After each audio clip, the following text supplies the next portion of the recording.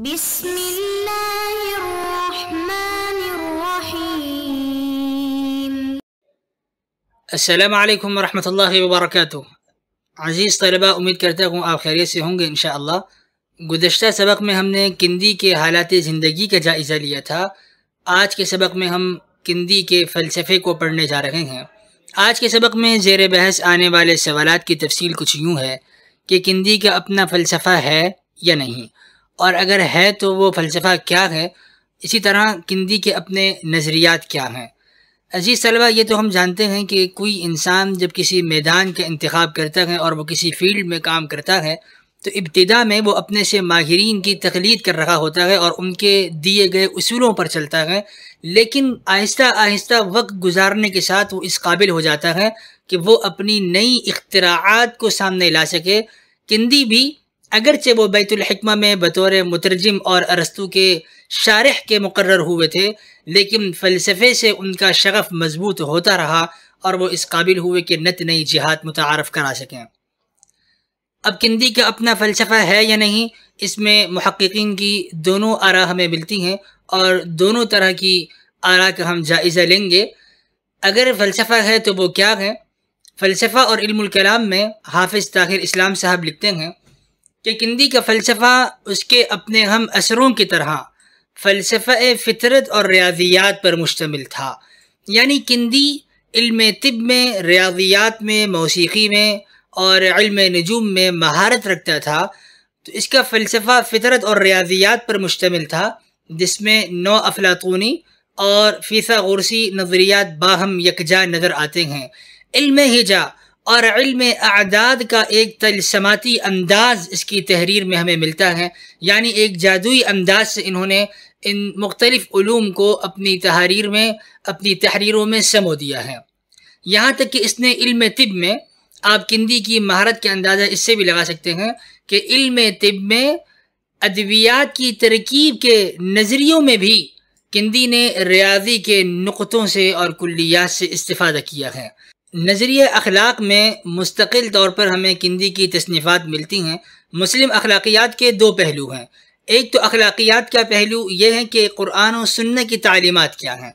यानी कुरान और हदीस ने हमें ये बताया कि यौम क़यामा, आखरत के दिन मौजूद है, जिसे हम यौम जजा और बदले का दिन यौमुद्दीन कहते हैं। इस दिन नेक अमाल का पल्ला भारी होगा। इसी से इंसान को ये फ़िक्र लाक हुई कि वो नेक अमाल ज़्यादा से ज़्यादा करे ताकि वो इस दिन कामयाब हो सके। और दूसरा पहलू मुस्लिम अखलाकियात का ये है कि अल्लाह ताला ने एक कानून बनाया है और अल्लाह ताला आदिल है तो जैसा इंसान करेगा, वैसा भरेगा, जो बोएगा, वो पाएगा अच्छा करेगा अच्छा पाएगा, जुल्म करेगा तो जुल्म इस पर भी किया जाएगा। तो ये दो पहलू अखलाकियात के हमें मिलते हैं। अब आते हैं इस सवाल की तरफ़ कि यूनानी अखलाकियात किंदी तक कैसे पहुँची? जबकि यूनानी दौर में और किंदी के दरमियान तवील तरीन अरसा है। तो ये अखलाकियात यूनान की किंदी तक कैसे पहुँची? अल्लामा लिखते हैं कि दो तरह से पहुँची हैं। एक तो ज़ुबानी कलामी, यानी सकाफ़त मुंतकिल हुई तजारत के ज़रिए से या सफ़र के ज़रिए से, और एक दूसरे से इस्तेफादा करते हुए ज़ुबानी कलामी अखलाकियात पहुँची हैं। नंबर दो तर्जुमे के ज़रिए से, यानी यूनानी को अरबी में ढाला गया और उनके अरबी तराजिम हुए और ये किताबें अरबों तक पहुँची हैं। लेकिन सवाल ये है कि अखलाकियात की कितनी किताबें हैं जिनके अरबी तराजिम हुए हैं? अल्लाह लिखते हैं, वो किताबें अखलाकियात में जिनके तर्जुमे अरबी ज़ुबान में हुए, उनकी तादाद कोई बहुत ज़्यादा नहीं है, बहुत कम है। एक तो तादाद भी कम है नंबर दो, कम होने के बावजूद ये किताबें हवादिसात ज़माने की नज़र हो गई। और बहुत ही कम किताबें ऐसी हैं जो गर्दिश अयाम से महफूज रहीं और वो किंदी तक पहुँची हैं। यानी हम ये कह सकते हैं कि आटे में नमक के बराबर किताबें किंदी तक पहुँची हैं और किंदी ने उन किताबों से इस्तेफादा किया है। किंदी ने यूनानी अखलाकियात को इस्लामियात से हम आहंग करने की कोशिश की है और उन्हें इस्लामी लिबादा उड़ाने की कोशिश की है। लेकिन इसके बावजूद, किंदी और कदीम यूनानी अखलाकियात में हमें फ़र्क मिलता है और वह फ़र्क ये है कि रुवाकी नज़रिया ये कहता है कि नेकी की तलाश ये भी नेकी है। नेकी को तलाश करना ये बेजाती ही खुद एक मकसद है, जबकि किंदी के कहना यह है कि नेकी की तलाश ये नेकी नहीं है, बल्कि नेकी पर अमल करना ये मकसद है। बल्फाज दीगर इल्म, महज खैर और शर में तमीज़ करने के लिए ही नहीं, बल्कि ये तो रूह की उस पाकिजगी को कायम रखने के लिए भी ज़रूरी है, जो खालिक के नूर को मुनज़म करने और इस तरह सही मसरत हासिल करने का वाद ज़रिया है। यानी नेकी की तलाश ये मकसूदी चीज़ नहीं है, बल्कि ये तो एक ज़रिया है। नेकी को तलाश करना, ये खुदा ताला को जानने की मसरत हासिल करने का एक ज़रिया है। असल चीज़ नेकी पर अमल करना है। किंदी ने एक और नज़रिया भी मुतारफ़ कराया और वो ये कि नेक अमल इंसान की फितरी ख्वाहिश है। यानी अल्लाह ताला ने जब हज़रत इंसान का खमीर गोंदा तो उस हज़रत इंसान की फितरत में अल्लाह ताला ने नेक अमल की ख्वाहिश रख दी और बुराई ये अल्लाह ताला ने इंसान की फितरत में नहीं रखी, बल्कि इंसानी फितरत अच्छे अमल को चाहती है और बुराई से दूर भागती है। किंदी का ख्याल ये है कि जहन की उलूही फितरत की बिना पर इंसान में नेकी करने का मिलान बदियात है। अब बुराई और बदी का इरतकब करना ये कैसे होता है? तो किंदी लिखते हैं कि बदी महज एक आर्जी या इत्तेफाकी हादसा है और इंसान बदी उसी वक्त करता है जब वो जज्बात को अकल पर गालिब कर दे, यानी अकल मगलूब हो जाए और जज्बात गालिब आ जाए तो इंसान बदी का इरतकब करता है। किंदी ने अखलाकियात में एक मुस्तकिल तसनीफ़ लिखी है, जिसका नाम है रिसालतफ़िलती लिदफ़ान यानी गमों से छुटकारा पाने का तरीक़ा क्या हो सकता है? किंदी की ये किताब दो हिस्सों पर मुश्तमिल है। पहले हिस्से में किंदी ने नज़रियात कायम करने की कोशिश की है, और साथ साथ हज़न के इसबाब की तशरी भी की है कि हज़न होता क्या है। किंदी लिखते हैं कि हज़न, यानी रंज अलम ये एक तरह की नफसियाती कैफियत का नाम है, जो उन अशिया के ज़ाय होने से पैदा होती है, जिन चीज़ों को हम दिल से अज़ीज़ रखते हैं। दूसरे हिस्से में किंदी ने कुछ अमली नसीहतें की हैं। अलामा कहते हैं कि हज़ुम से बचने का बेहतरीन तरीक़ा यह है कि हम अपने उन गुज्त कड़वे लम्हात को याद करें, जिनमें हमने कड़वे घूंट पिए और बिल आखिर हमें उन लम्हात पर सब्र आ गया और उन वाक़ात पर, जिन्हें हम किसी तरह की भी क़्यामत सगरा या कुबरा से कम नहीं समझते थे, उन लम्हात पर बाद में हमें सब्र आ गया। किसी का कोई करीबी अज़ीज़ दुनिया से चले जाए तो वो एक हद तक तो गम बनाता है, लेकिन बाद में उसे सब्र आ ही जाता है।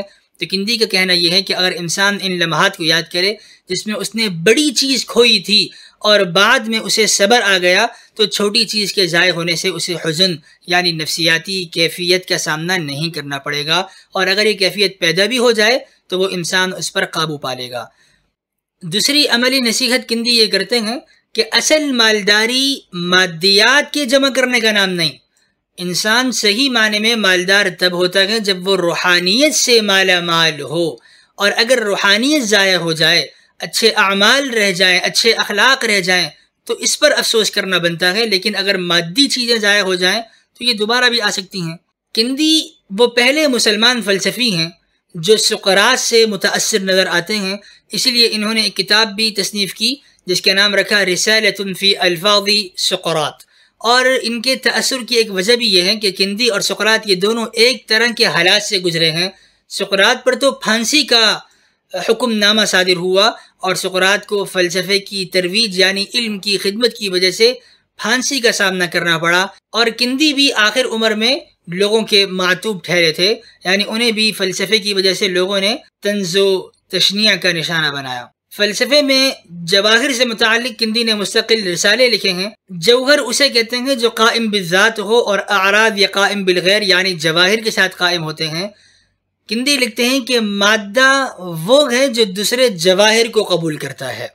यूनानी फ़लसफ़े में हयोला और सूरत की बड़ी अहमियत है और इसी से दीगर चीज़ें मिलकर बनती हैं। तो किंदी ने सूरत की भी तारीफ़ की है और लिखते हैं कि सूरत दो किस्म पर है। अव्वल सूरत तो वो है जो जिन्स के लिए लाजमी होती है। यानी ये सूरत जिनसे अलहदा नहीं होती। मिसाल के तौर पे अगर हम इंसान को देखें तो इंसान, कोई इंसान आपको ऐसा नहीं मिलेगा जो गोश पोस्त और हड्डी खाल से अलग हो। और कोई इंसान ऐसा नहीं है जिसका गोश्त ना हो, हड्डी ना हो। और जो एक इंसान की ज़ाहरी शक्ल है, इससे हट कर इंसान की कोई और सूरत हो, ऐसा नहीं हो सकता। तो जिन्स के लिए कोई ना कोई सूरत ज़रूर होती है।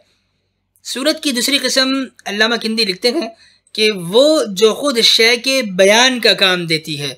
यानी ये सूरत वो इस्तादाद है जिससे शय बेसूरत मादे से पैदा होती है। ऐसा मादा जो बग़ैर सूरत के है, यानी इस मादे को हम मादा मुजर्रदा कह सकते हैं, और मादा मुजर्रदा, इससे एक सूरत वाली चीज़ निकलती है। मिसाल के तौर पे आग, अब इसकी सूरत तो है, इसकी एक शक्ल और शेप और हैत है, लेकिन आग बनी किससे? खुश्की और हरारत से। लिहाजा खुश्की और हरारत इन दोनों के लिए कोई सूरत नहीं है, लेकिन इन दोनों के मिलने से आग निकली है और आग की अपनी सूरत मौजूद है।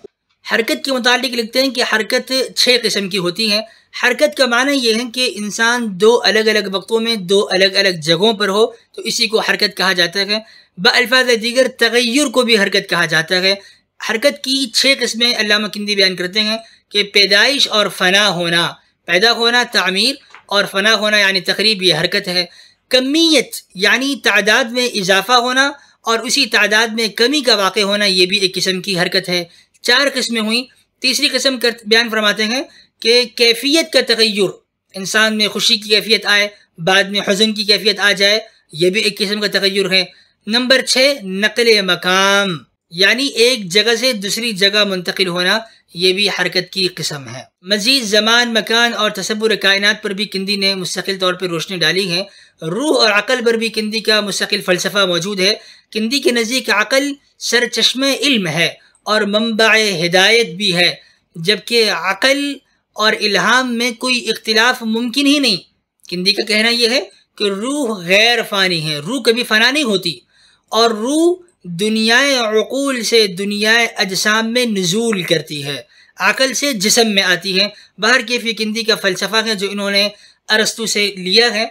इसीलिए बाद ने किंदी को बतौर फ़लसफ़ी या बतौर मुजिद और मुश्तद के नहीं तस्लीम किया, बल्कि उनका कहना यह है कि सिर्फ़ अरस्तु के मुकलद थे। किंदी ने खालिस अरस्तु के फ़लसफ़े की शरह की है और उसकी तकलीद की है, मुजिद और मुजतहिद नहीं थे। जबकि बाज़ यूरोपियन महक्कीन ने आपको मुजतहिद और मुजिद भी तस्लीम किया है। तारीख़ फ़लसफ़ा इस्लाम में किंदी के मुतालिक लिखा गया कि वो जहन खल्लाक हरगिज़ नहीं रखता था, यानी ऐसा जहन नहीं था उनका, जिससे वो नई अख्तरात लेकर आए। वो मुजिद और मुश्तहिद नहीं थे, लेकिन बाज़ यूरोपियन महक्कीन ने आपको मुजिद और मुश्तहिद माना है। अलमुख्तसर बावजूद इस वसात इल्म और कसरत तसनीफ़ात के, अलकिंदी सही माने में मुजिद और मुश्तहिद न था, क्योंकि उसका कोई ख़ास फ़लसफियाना उसूल न था।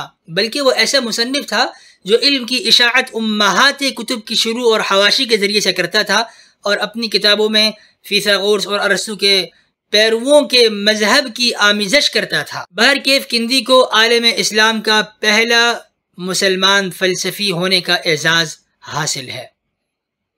हुक्मा इस्लाम में अल्लामा नदवी इसी पैराग्राफ को दोबारा नकल फरमाते हैं कि किंदी जहन खल्लाक नहीं रखता था, जबकि मोहम्मद लुत्फ़ी भी यही बात लिखते हैं कि किंदी मुजिद और मुस्तद न था। अजीम मुसलमान फ़लसफ़ी में डॉक्टर मीर वलीउद्दीन साहब लिखते हैं कि किंदी की तालीफ़ात, फ़लसफ़ा, इल्म, सियासियात, अखलाक और बहुत से ूम में इनकी तसनीफ़ात हमें मिलती हैं। किंदी ने अपनी तालीफ़ात में दीनी मसाइल से बहुत कम बहस की है। अलबत् वाजिबुलवजूद के मुतालिक इन्होंने एक ख़ास अकीदे की बिना पर वाजिबुलवजूद से इन्होंने बहस की है और रिसाल तोहद इनका हमें मिलता है। लेकिन बाद में बाज़ा ने इनके इस रिसाल तोहद पर रद्द भी किया है। दायरे मारफ बरतानिया में किंदी का मकाला निगार लिखता है कि किंदी इस्लाम के सबसे पहले हमला आवरों में से एक हैं और इसी ने बिदात की इब्तदा की है। यानी किंदी पर तनकीद भी मुस्तकिल तौर पर की जाती रही, जबकि इनकी मदह करने वाले, इनकी मदह सराई भी करते रहे हैं। खुलास दर्ज, किंदी फ़लसफ़े अरस्तु के इशारे हैं और किंदी ने दीनियात से कम बहस की है। किंदी की ज़्यादातर तसनीफ़ात फ़लसफ़े में हैं। किंदी की कोई तसनीफ़ ऐसी नहीं जो अब मतबूआ शक्ल में बाकी हो। किंदी इंसान को फितरी तौर पर खैर का तालिब तस्वुर करते हैं, जबकि बदी का एहतिकाब करने वाले की अकल पर जज्बात गालिब आ जाते हैं, ये किंदी का अपना एक ज़ाती नज़रिया है। आइंदा दुरुस के हमारे मंदरजात कुछ यूँ होंगे कि फाराबी के अहवाल क्या हैं और फाराबी के नज़रियात क्या हैं फाराबी का फ़लसफ़े में क्या मकाम और रुतबा है वसलम वरहमल वर्का